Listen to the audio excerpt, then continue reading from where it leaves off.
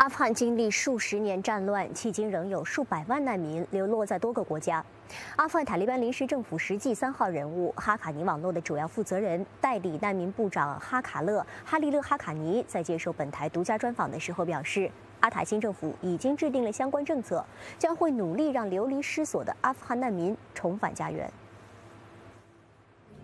历经持续四十年的战乱， 致使数百万阿富汗人沦为难民， 并流落到邻国等其他国家。 仅在巴基斯坦， 目前就有超过三百万阿富汗难民在那里生存和挣扎。 塔利班政府实际三号人物、 哈卡尼网络主要负责人、 现任难民部长的哈利勒 · 哈卡尼在接受记者独家专访时就表示， 目前阿塔政府正制定相关政策， 将通过与联合国难民署等国际社会合作，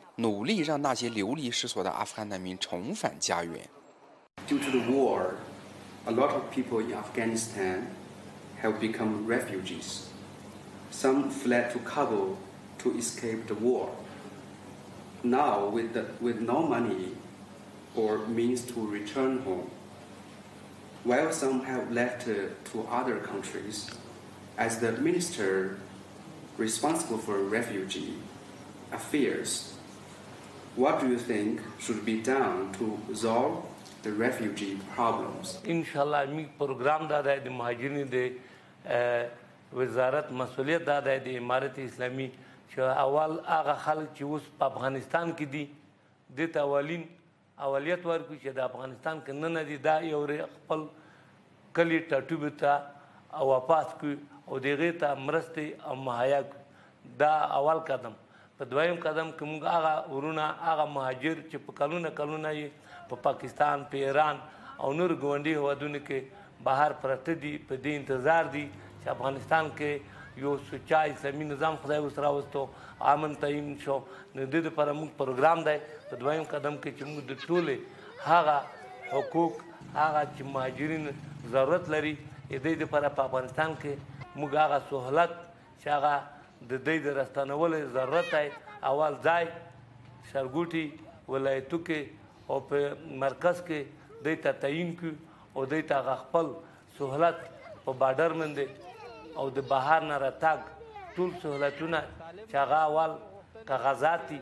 چې د مهاجرینو راتګ لپاره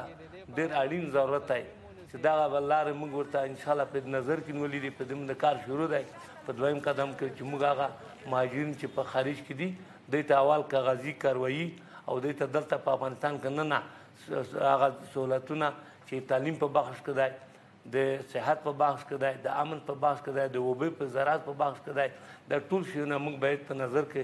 مخکې د دې نه چې دی را به ځای شوي نه وي دا مهیا کړو او دی ته خپل شرګوټي تعین کړو او دی ته یو یو نمره ځمکه توضیح کړو او آینده دپاره بیا دی ته د راتګ لاره برابره کړو انشاءالله په دې باندې موږ خپله قوي ټیم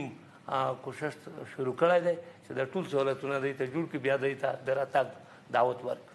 حلیله 还进一步强调由于阿富汗刚刚从战乱中走出来， 此前塔利班与前政府军之间爆发的战争， 导致阿富汗国内目前出现了大批新的难民。 这些难民为了躲避战争而流落到首都喀布尔等城市和地区， 当前急需国际社会的援助。 哈利勒 · 哈卡尼表示， 希望国际社会， 包括国际 NGO， 能向这些难民提供援助和过冬物资， 以帮助他们顺利度过即将到来的冬天。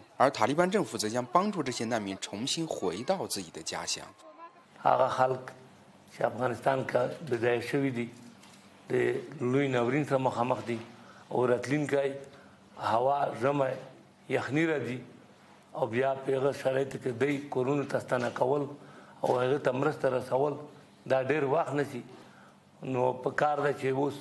موجوده څومره زر کدای شي نړیوال او خصوصا ګوانډي هوادونه امرسته مرسته کوم خیریه مؤسسات چې دي یا د دې لپاره کوم انجوګان دي د ټول نه میدا مطالبات څومره زر کولای شي موږ سره اړین مرسته هغه د دې د کورونو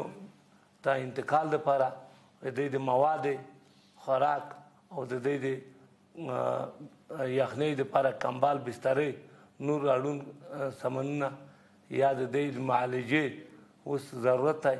او د تعلیم یې ضرورت دی د هیڅ شی نه لري سرپناه نو په کار دی چې څومره زر د دې لپاره نړیوال په هغه تر شوي مفسد اداره کې یا حکومت کې دی مرسته کولی اوس په کار ده چې په دا افغانستان په ټولو ولایتو کې الحمدلله په ټول افغانستان کې هغه مهم شای چې دا هغه امن دی نو امن تامین شوی دی الحمدلله موږ پرا نړیواله ته د امن اطمینان ورکوي دی باید په د اوس وخت کې اړینې مرستې څومره چې زر کدای شي موږ سره مرسته وکړي او هغه خلک چې بځای شوي دي